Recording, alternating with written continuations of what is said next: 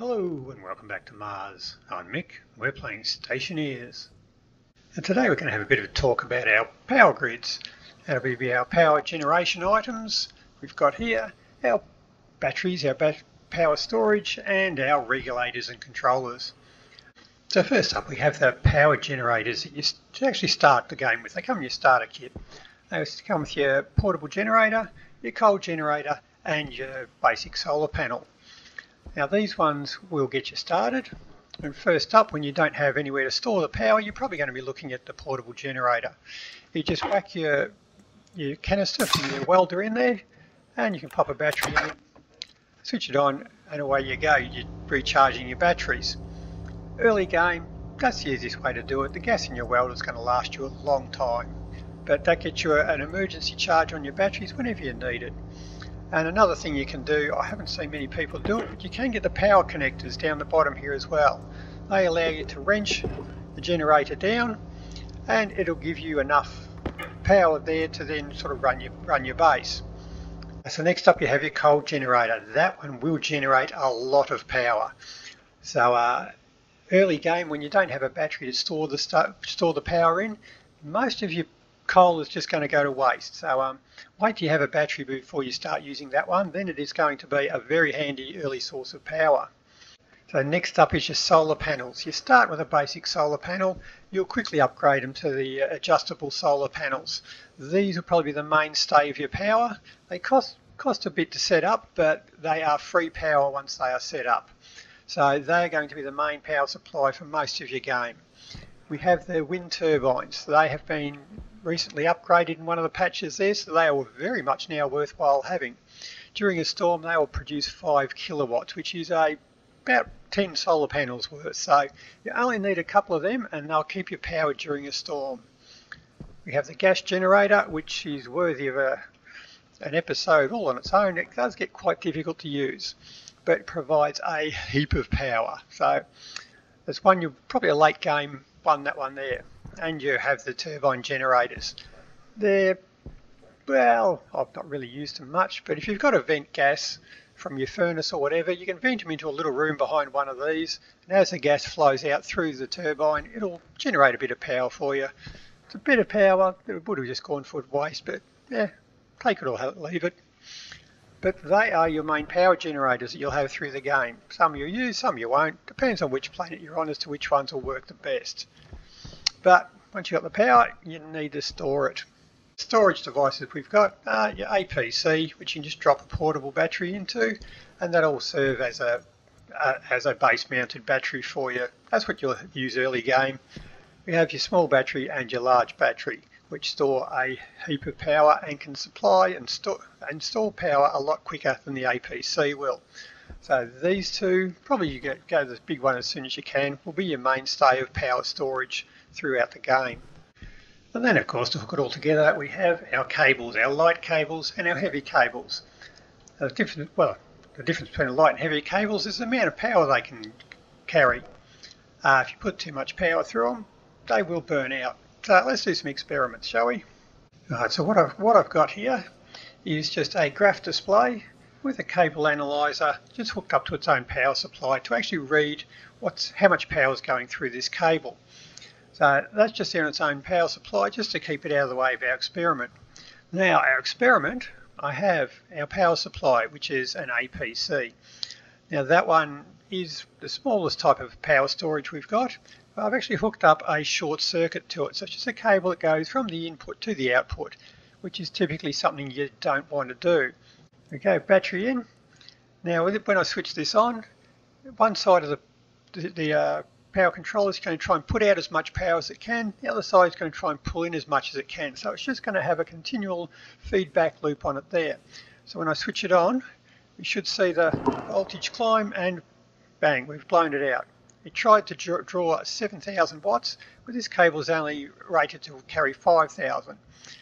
That's what happens when you overload it. There we go, a short circuit with heavy cable. Now I haven't upgraded the power supply, it is still just using the APC uh, it does have a nuclear battery in it, so that provides a bit of power. If We switch it on. We see that the, it goes into its feedback loop where it is trying to raise more and more power and we see the power running through the grid is just continually rising. At the moment it's 66,000 so it has far exceeded what we would have got out of the light power cable which is a good thing. We've just spent a heap of gold making this cable here so we wanted to make sure it carries a lot. We get our money's worth out of it. But as it goes up this cable is rated to carry 100,000 watts. Boom, there it goes. 100,001, we've popped it out. Now, short, just a short circuit is not the only thing that's going to burn out your power cables. You can just connect too much power demand to it and it will burn out because you're trying to draw too much from it. Now I've got my APC set up, there's nothing short circuiting it, so it's just the output trying to power a couple of air conditioners through a light cable. So if we switch it on, we find that there's not a huge power demand, it's only 765 watts uh, with it at the moment where the air conditioners aren't working too hard. But if we change them to work a lot harder the power demand will go up. And bang there we go. We've blown out the power cable. So drew over 5700 watts and that's more than our power cables can handle. So what do we do about that so this brings us to our next class of power devices. These are our power regulators, our transformers. So we have our large transformer, medium and small transformer. Right, so if we pop him into our circuit, like that, switch him on. Now it's set to zero, so our lights will not switch on. It's sort of saying, no, the maximum power you're allowed in that circuit is zero, so nothing comes through. If I switch it up to 100 watts, now I can switch on a light. It goes up to 50 watts. That's what a light uses. If I try and switch on another one, it says, no, that's over 100 watts. I'm not going to let you have that power. So if I switch it up once again, we can continue turning on more. It says, no, that's 200 watts. You're not allowed to have any more. And so on. So if we set that to what the limit of our power cable is, Uh, if we say our power cable is 5000 watts, boom, I cannot now draw enough power to burn out that cable. So our circuit is now protected. If you try and draw too much, your devices just won't switch on. So there's a way to protect your cables. Of course, it's not 100% foolproof because there is still a way to break down then if you're not careful with your cabling. Now another way you can burn out your circuits is just by combining circuits. If I have two circuits, both protected by transformers, now here I'm not drawing much because I've only got lights on them all, but if I was drawing 4,000 watts from that circuit, 4,000 from that one, and then I accidentally sort of looking for some cables to connect, running some wires, and connected them like that, there would now be 8,000 watts running through these cables, and it would just blow out. So that would be a bad one to do. Way I avoid doing things like that is just by simply color coding them. Uh, if I suddenly say, right, that's a yellow circuit coming from that transformer, and that's a red one from that one, I know that they're different circuits now, so don't cross them. So here we are back with my short circuit again. Now if I switch that on, we will get a blown cable. There it is, it's over there. If I hook that back up again, it's now down here. It's now over there. So if you blow a cable, you could be searching the entire circuit. If you're in the habit of welding cables into walls, that's going to be a real pain in the bum to go and find. So even if they're hidden behind wall panels, you still got to pull them all off to go and find it. So uh, something you can do as an additional safety is to use a fuse. Now your fuse you get from the electronics printer, they're pretty cheap, but they have a number of varieties there. So they come in your 1 kilowatt, 5 kilowatt, 50 kilowatt and 100 kilowatt. Now it's probably mainly going to be used the 5 kilowatt ones you're going to use because that matches the small power cable and the 100 kilowatt ones will match the large power cable. Now they don't stop it from blowing, but they let you decide as to where it is to blow. So if I find an easy, somewhere that's easy to access or somewhere that's quite clearly visible, now when I switch it on, it's blown right there. Just to make sure it wasn't a fluke, put in another fuse, fix my cable,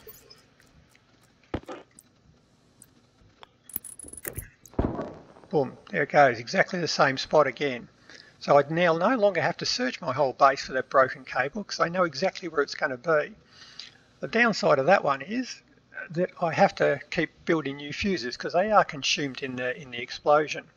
Okay, so how do we put it all together? Well, it depends on what stage of the game you're at. Early game, chances are you're going to be very basic setup. Maybe just your portable generator and a single solar panel and your only storage that you've got is an APC. So one of the things I like to do is attach my generator into the grid. I'm not going to use my large generator yet because it can generate 20 kilowatts and I just can't consume that. So most of my coal would go to waste. So I use a small one there. For early game, remember you are running on your welder canister there, so just don't use up all your fuel or you might find yourself in a bit of trouble. So I mean that solar panel can generate 450 watts on Mars at its peak efficiency. Uh, the cable can handle 5,000, so I've got nowhere near uh, enough to burn out that cable. And once again, just a transformer, and my entire base will be running off the single circuit because early bases just don't draw more than 5 kilowatts. So that would be my early game setup. I do like to colour my input cable from my output cable so as I know you do not connect a green with a red. As your base progresses, you've got access to a few more things there. So now we've now got a station battery. So now this one can can absorb the 20 kilowatts that the the coal generator can put out. So I have a way of producing 20 kilowatts, a way of absorbing 20 kilowatts. So it's time to hook up the coal generator. Now the small cables can only carry 5 kilowatts, so it's time to jump into the heavy cables there. So now I have heavy cables between the generator and the battery. Now the solar panels, I don't have many of them yet, so they still only produce 450 watts, I think 452 watts on Mars when they're running at full efficiency. So I don't need to have heavy cable on them yet. I can whack 10 of them in a row and still use a light cable. But I mean, to, I then can't just connect it into the heavy generator as well. So I've got to put a transformer heading back that way to isolate the two networks. So that one will be carrying 20 kilowatts when the generator's on, plus whatever comes out of here. So uh, whereas this one will only be carrying what comes out of this circuit. So the light won't come on while it's generating, doesn't matter, it's still working. Coming out of it again, we've probably got multiple circuits hooked up now. So we have the heavy cable coming out of the battery because it can supply a lot of power if you ask for it. And each of our separate circuits are hooked via a transformer to the heavy cable, then into the light cable for each of them. Now you've got to remember that this cable is still completely unregulated. If you ask it to pull too much from the battery, it will provide it. So at this stage though, I know I'm pretty safe. I'm not drawing 100 kilowatts from my battery, so I can be relatively confident that I'm not going to burn that cable out. Now the good old APC, which was my battery storage, is now just serving as a backup power supply. So if I have a, a greenhouse or some sort of essential service there, which I want to make sure is always running and doesn't go flat, or an airlock is another good one. You don't want them to run flat when the battery dies unexpectedly. That's just a backup power supply. So if the power shuts down, that one will keep going for a bit longer as we get into later game, you've probably got lots of things hooked up for power generators, so you've probably replaced the entire cable with a heavy heavy cable. Wind generators are now produce a lot of power, they're worth having. You probably have multiple batteries. Now you all the circuits on your base, you may be in danger of drawing more more than the heavy power can handle. So it can be worth installing a large transformer between the batteries and the output power cable. And it doesn't hurt just in case we accidentally put in a short circuit. This cable goes all the way through my base through the entire superstructure and everywhere and it would take a long time to chase down a fault in there. So it doesn't hurt to put a fuse on that one just so if something does go wrong I know exactly where to go and fix the cable. As I say the fuse is consumed but in that case I don't mind using one. Now I've got my different coloured power cables. They are either side of the battery. You do not connect one side to the other side. Different colours don't match. Now this one here I have painted a different colour to our main power cable because this is an unregulated one. There is nothing to protect that cable. If I try and draw too much power from it, the batteries will quite happily oblige. So I don't connect anything to the yellow power cable, yet don't connect anything to the green power cable. through the transformer, then it becomes a red power cable and I can just tap anything on that. Want to put another circuit, just whack another one into there. APCs do not prevent a, a circuit overload, so you should always have them in conjunction with a transformer to protect that circuit. This is just a power backup, that is a circuit protection. Usually when setting up my circuits, everything on this circuit will be associated with the same thing. So if I have a build a furnace, there may be a dozen things on there that need to be switched off when I want to shut it down. Instead of going and switching each all off, if I connect them all to a transformer, I want to shut off all of those things. That's just one switch on the transformer, the entire circuit goes dead. And of course the multiple circuits allows you to reduce the power demand on each one, which allows you to use a light cable right through to end game.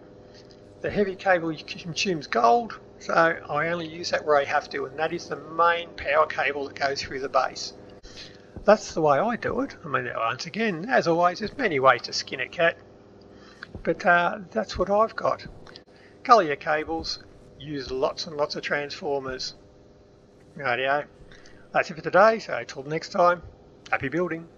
See ya.